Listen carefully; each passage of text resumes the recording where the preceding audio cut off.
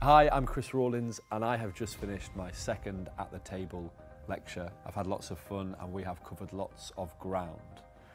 Material that involves cards, material that is straight mentalism, and there really is something for everybody inside of this lecture. Just have you to begin with cut off a small group of cards, place them face down on my hand. I'll show you what I learned to do first.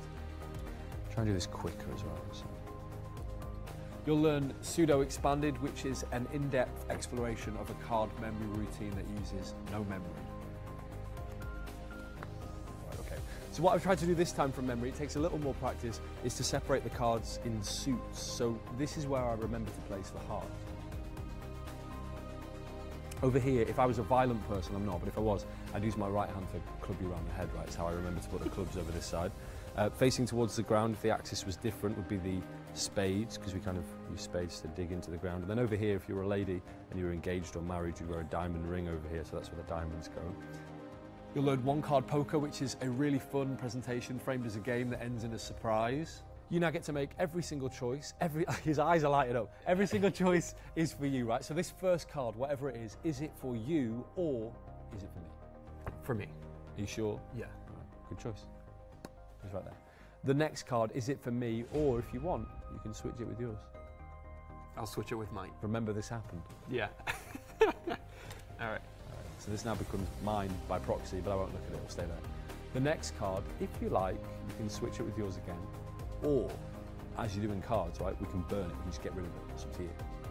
I want to switch it with yours. Remember this happened, right? Okay. You're just making up your own rules. Look, you're switching it with mine. Boom. This one is now out the game, we're going to burn it. So in a moment you know what you could have had. I'll place this into the deck facing the wrong way. And that's it. You've made every single choice, you've shuffled, you've cut. You've actually switched a bunch. Most people don't switch that much, but I like that. Just have a peek at your card, poker style. Okay. Good. You have one more choice to make, and this could change everything. The choice is whether aces are high or whether they're low. Because if you've dealt me an ace by chance, and you now say aces are low, you take me from a position of winning to being maybe the loser in the. Because it's all about who has the highest card. So aces high or low, up to you. Hi. High. Show all of us what do you have.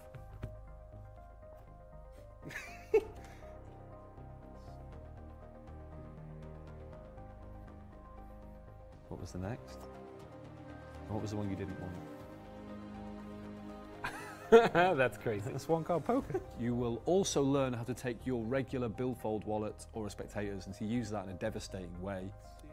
So I would like you to, to think of a picture, mm-hmm. simple picture, of anything in the world that you would like.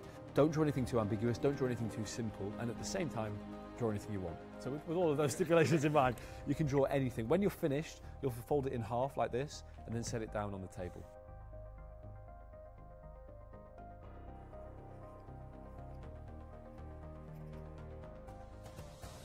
Okay. Very good. Goes inside. Set on top of this. Put my hand. Yeah, perfect. And then the next line would be yeah, something like this. Uh,